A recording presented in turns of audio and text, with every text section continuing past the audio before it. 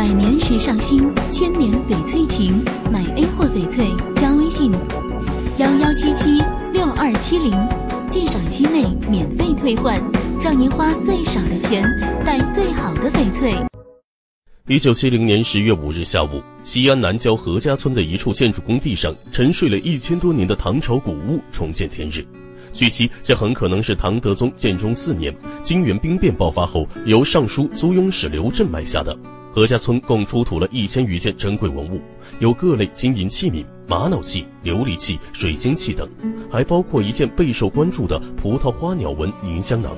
这些文物被紧急送往陕西省博物馆，并被命名为何家村遗宝。之后，考古专家在一个鎏金鹦鹉提梁银罐里发现了大量积水和水面上飘着的金箔。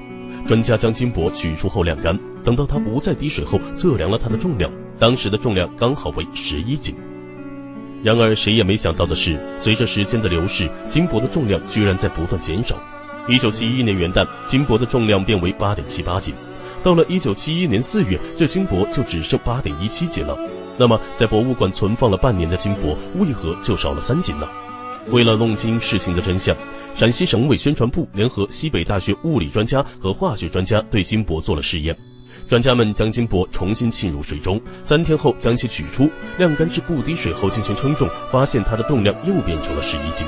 据此，专家得出结论：金箔中的水分虽然表面看起来晾干了，但其实并没有完全消失。最初称重的时候，带水的金箔重十一斤。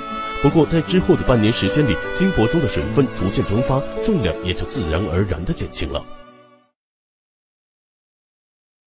二零零三年的一天，河南黄河边一位钓鱼老汉正打算收竿回家，但鱼竿拉起来，竟拉出一只背上插着四支箭的铁王八。拿给专家看后，专家感叹说：“这是无价之宝。那这铁王八到底有何来历？”